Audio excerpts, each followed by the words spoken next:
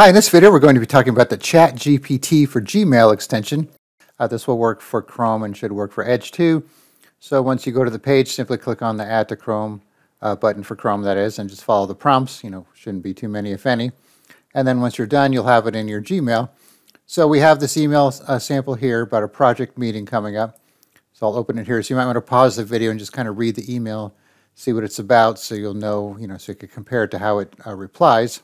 So once you do that, we'll continue.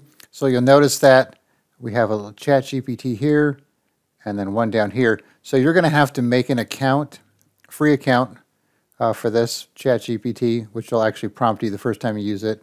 And if you're not signed in, you'll have to sign in. And so once you have it here, um, you can click on it.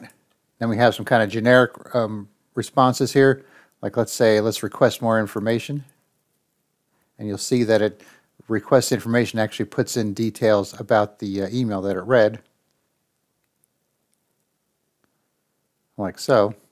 And if you don't like it, you click it again, but this time it's going to want you to uh, specify how you want it to reply, and you can actually show suggestions here. But if you don't want to do that and you want to get that first menu, you'll have to you know, discard your draft, go back out and reply again, and then you'll have this uh, these pop-up buttons again here, and then you could do something different, you know, like agree. Something simple like that. So let's try another one here. So like I said, you have these suggestions here. Tell her that I'll check out the attachment and get back to her. Generate reply.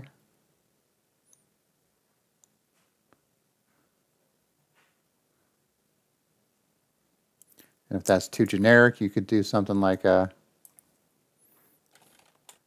Okay, tell Cindy that I will be at the meeting with my presentation ready to go. Thank her for setting things up and tell her I will read over the attachment, so generate reply.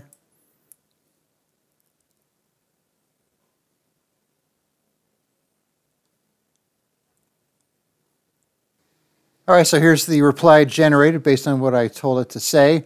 So it did a pretty good job. So one thing you'll notice though, if you keep on changing your mind and generating new replies, it's going to stack them on top of each other. So make sure you delete the first one before you uh, add the uh, new one to it.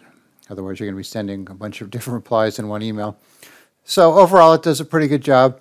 So you know, it comes in handy if you want to just quickly generate replies to emails. But I would obviously proofread the replies before you send them off, just in case it you know doesn't get it right. So I'll put a link in the description where you could uh, install this.